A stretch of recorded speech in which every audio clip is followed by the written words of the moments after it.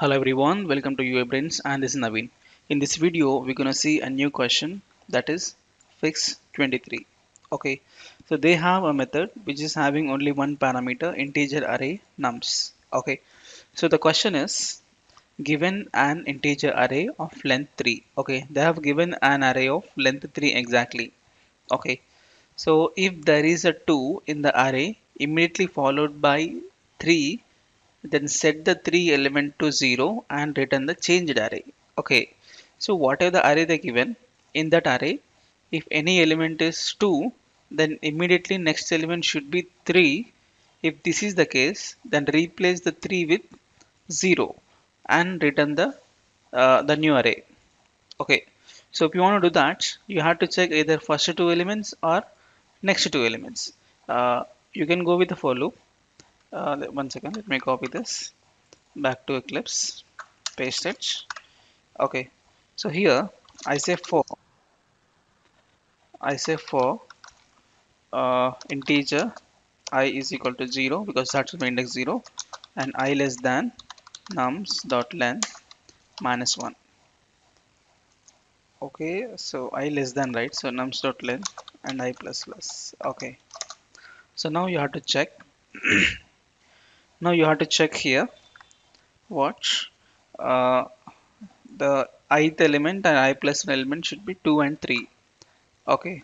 So if nums of i uh, is is equal to 2 and so nums of i plus 1 so i will be 0 onwards. It starts. So 0th element and first element or first element and second element or second element and third element like that. Okay is equal to 3 then so nums of i element equal to 2 and immediately nums of i plus 1 if it is 3 immediate next element is 3 then replace the next element is with 0 what's the next element? Wherever 3 is there replace with 0 it means the same nums of i is equal to just 0 right and return. So once you replace it is automatically the new array right?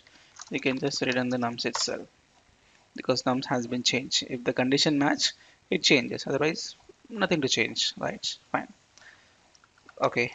So now uh, let me copy this and back to here and paste it and click on go. Oh some problem happened. One second. Copy this back to here. Paste. And click on go. Yes you got all success right? Uh, it means this is the solution. One second let me zoom it. So this is the solution for this problem. Simple you have to just loop it. And the ith element equal to 2 then i plus 1 element to be 3 if it is the case wherever 3 has been there where is the 3 nums of i plus 1 so that has to replace with a 0 so that's what I have done. And the same nums which is replaced the same element I'm just returning back. Okay the same array. Okay so that's it and we got all success. It means this is the solution for this problem. Okay so that's it. Thank you so much for watching and we'll see the next question in the next video. Thank you